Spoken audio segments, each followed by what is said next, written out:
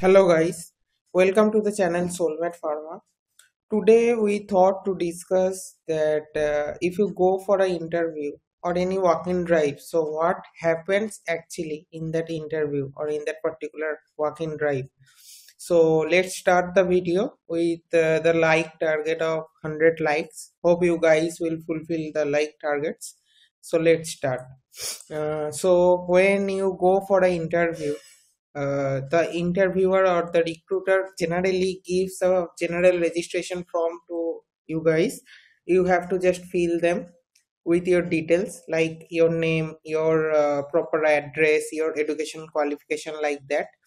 Along with that you have to carry two copies of your resume or uh, government identity proof in original the recruiter then give you a questionnaire form which contains technical or non-technical portions.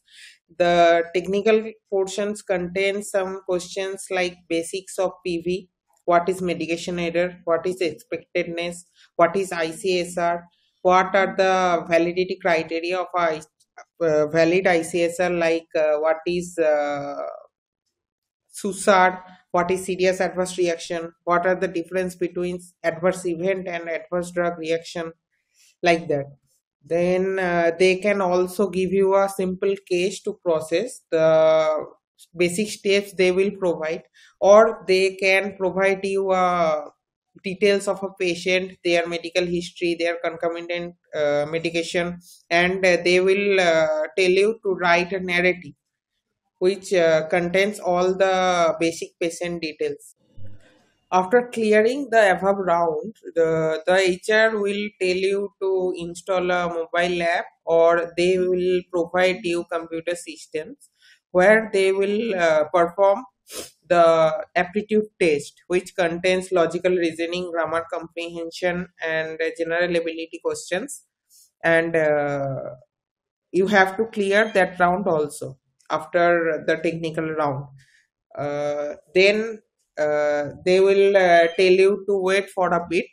Uh, then uh, if you pass the interview then uh, they will allow you to attend the face to face interview there should be one person or more than one person for the face to face round for the experienced candidate which uh, persons uh, holds uh, but some years of experience in PV, uh, they have to uh, just uh, tell their brief introduction like their name, age, gender, education qualification, and where they worked previously. And then the interviewer will ask you the general PV questions mostly uh, for experienced person the interviewer will prefer to ask the case processing related questions.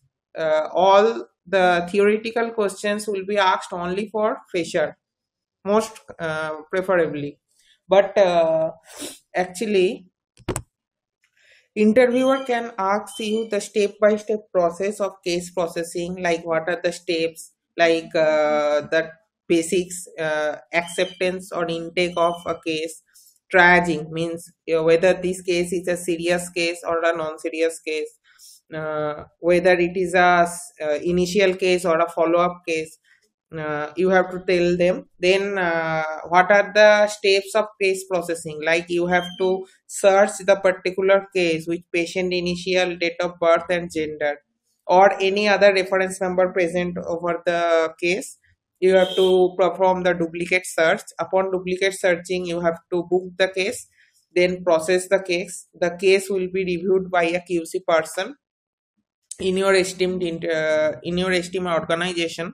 And uh, then they will uh, push the case for medical review. And after that they will close the case and uh, generate the regulatory report which uh, will submit to respective regulatory authorities. So um, these are the questions for uh, experienced professionals and for fresher they will generally prefer to ask pharmacology like uh, the basic classifications uh, for antihypertensive drugs diuretics um, anti-cancer drugs some mechanism of action of particular class of drugs some example and basic adverse event of drug. Like uh, if you take penicillin then it is quite obvious that uh, you might having some uh, skin reaction like things. And uh, like that only. They will ask the basic questions regarding pharmacology the classification some disease like rheumatoid arthritis what is myasthenia gravis what are the first line drug uh, to treat them what is antitubercular drugs uh, name some uh, first line antitubercular drugs like isoniazid rifampin pyrazinamide ethambutol and streptomycin like that what is uh, antifungal drug? Name some fourth or third generation antibiotic drugs. Uh, what is uh, the mechanism of action of that particular antibiotic drugs? What is uh, particular dose of a drug?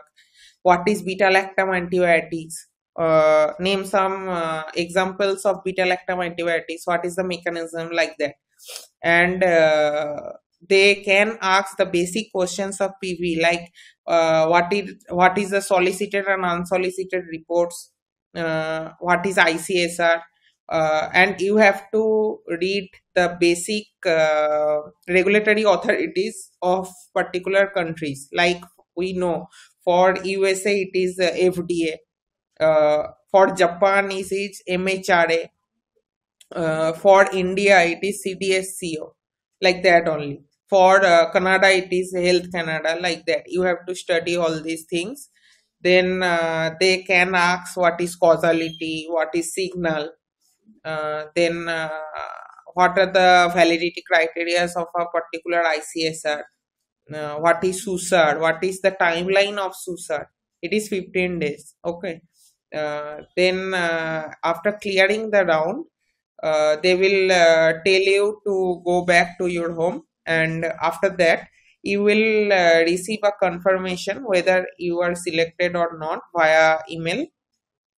And after that they will uh, give you a offer letter where they will mention the tentative joining date as per your requirements.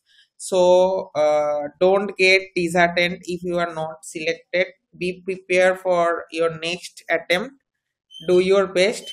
Be with us. If you like the content then don't forget to like the video subscribe and share with your peer ones uh, i think this video will help you guys to crack and get a particular suitable job for your future endeavor.